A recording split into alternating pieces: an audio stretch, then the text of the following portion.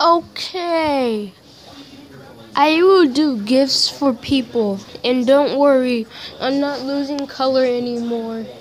I the reason why I did that video is because I was sick. And yeah, I'm not sick anymore. So don't worry about it. And yeah. I will do um gifts for people just um let me know in the comments what I should do.